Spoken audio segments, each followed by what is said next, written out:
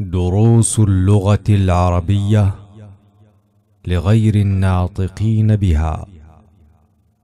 الجزء الأول. الدرس العشرون. ليلى. يا سلمى. أفي فصلك طالبات من الصين واليابان؟ سلمى. نعم. في فصلنا خمس طالبات من الصين وأربع طالبات من اليابان وثماني طالبات من إندونيسيا. ليلى وفي فصلنا ثلاث طالبات من الهند وست طالبات من الفلبين وسبع طالبات من تركيا. سلمى كم أختا لك يا ليلى؟ ليلى لي ثلاث أخوات. سلمى وكم اخا لك؟ ليلى لي خمسة إخوة. سلمى لك ثلاث أخوات وخمسة إخوة. ليلى نعم. وكم أخا وأختا لك؟ سلمى لي أربعة إخوة وأربع أخوات. ليلى لي زميلة اسمها خديجة لها ثمانية إخوة وثماني أخوات. تمارين. اقرأ واكتب. ثلاث طالبات. أربع طالبات. خمس طالبات. ست طالبات. سبع طالبات. ثماني طالبات. تسع طالبات. عشر طالبات. اقرأ واكتب. في بيتنا ثلاث غرف. في الجامعة عشر حافلات. في هذه المدرسة ثماني مدرسات. عباس له سبع بنات. في بيتنا تسع دجاجات. في الجامعة خمس كليات. في المستشفى عشر طبيبات وأربع ممرضات. خالد له ثلاثة أبناء وأربع بنات. لي خمسه إخوة وست أخوات.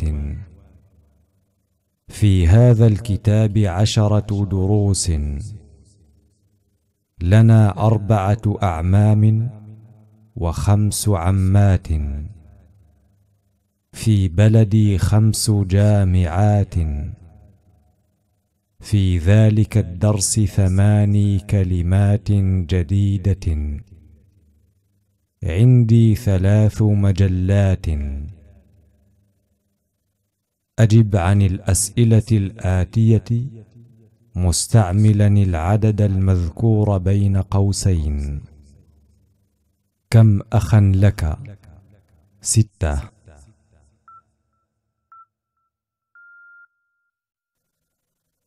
كم أختا لك؟ خمسة.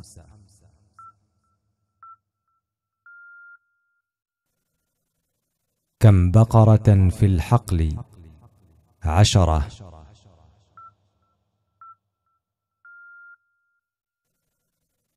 كم طالبة جديدة في الفصل تسعة.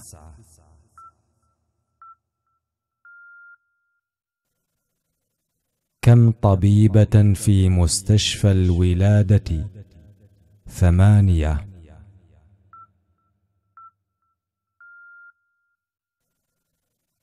كم حافلة في الجامعة؟ ستة.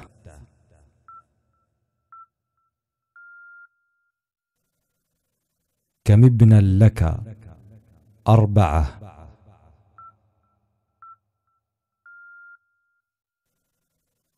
كم بنتا لك؟ سبعة.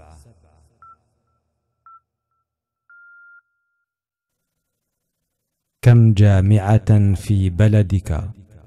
ثلاثة.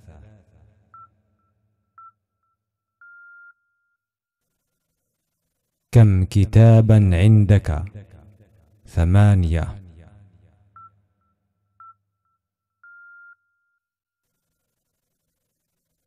اقرأ الجمل الآتية واكتبها.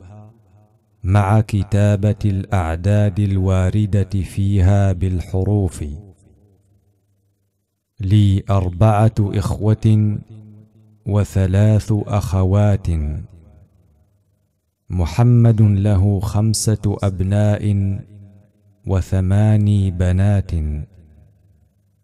عندي عشرة كتب وسبع مجلات. في المستشفى تسع طبيبات وست ممرضات. عندي أربعة قمصان. لهذه السيارة أربعة أبواب. في هذه الكلمة خمسة حروف. في مدرستنا ثماني مدرسات.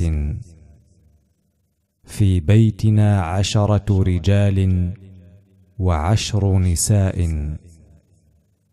ذهب أبي إلى الرياض قبل ثلاثة أيام.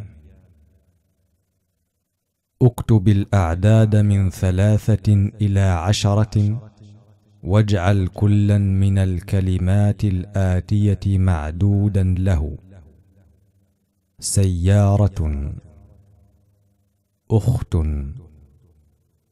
طالبة مجلة بنت ساعة الكلمات الجديدة المجلة الجمع مجلات إندونيسيا الحرف الجمع حروف الكلمة الجمع كلمات.